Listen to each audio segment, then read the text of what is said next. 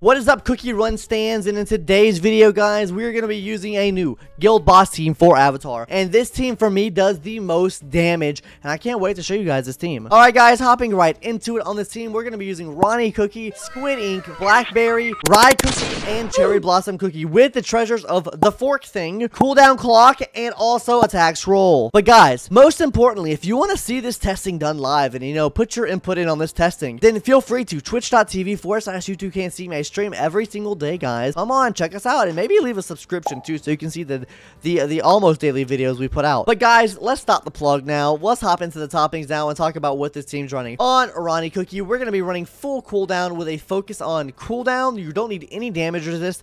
You want at least 24.4% cooldown. On Squid Ink Cookie, we're gonna be running full raspberries with a focus on cooldown. You want at least 9% cooldown, uh, but I couldn't get that because a lot of this team does use raspberries. On Blackberry Cookie, we're going to be using full raspberries with at least 8% uh, cooldown. And as you can see, we have a 9.2% cooldown here and 9.8 damage just there. On Cherry Blossom Cookie, we're going to be running full raspberries with at least 8% cooldown. And finally, on Rye Cookie, we're going to be using full raspberries with at least 8.5% cooldown. And guys, make sure the main thing here is, guys, you don't need any damage resist for this. You just really need to make sure your cooldowns are all good and ready to go. Other than that, guys, this team should be good, good to go. All right, guys, hopping into level 27 here on Avatar, what we're going to do is we're going to go ahead and put our Blackberry on cooldown, and at the staircase, we're gonna go and hit Ronnie Cookie.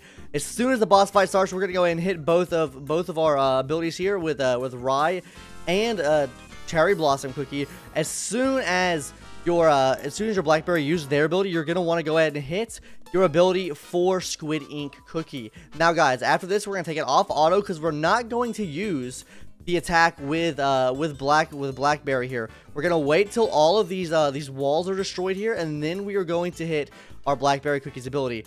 Uh now after this guys is pretty pretty easy. All you do now is just gonna basically just keep spamming attacks and make sure everything is up uh up at the same time. You don't want to like re really have too too much downtime with it.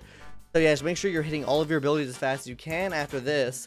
Uh and then make sure you keep sending macron out to keep getting some healing crit up attack up uh, and yeah, guys, uh, from here, we just keep going. We keep going. Just keep busting through. Everyone uses their ability here to possibly get through all of the walls now.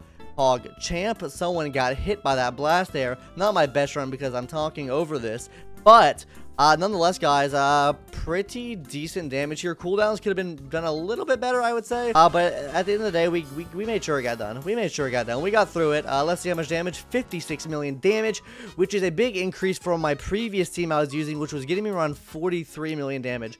Honestly, the big improvement here, guys, is from Ronnie Cookie. Ronnie Cookie does provide a lot of extra attack and crit for the team, and not that bad damage either. As you can see, pretty, honestly, pretty even damage on the board. Uh, Blackberry doing 12 12.6 million damage, and Rye Cookie doing 12.8 million damage. Anyways, guys, if you have any questions about this team, leave them in the comments below. Uh, that's going to do it for today's short video. Uh, anyway, I hope you guys enjoyed the video. Uh, if you guys have any questions, like I said in the comments, if you guys have any team recommendations you want me to try for these bosses, the comments below as well. Anyways, guys, that's going to do it for today's video, and I'll catch you in the next one. Later. Bye-bye.